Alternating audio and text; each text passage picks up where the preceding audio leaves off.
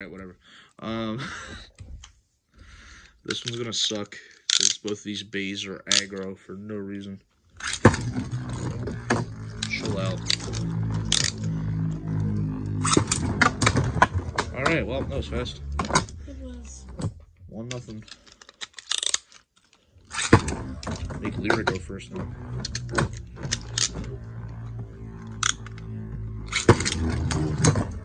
Alright, well, Lyra wins. Hope you enjoyed that.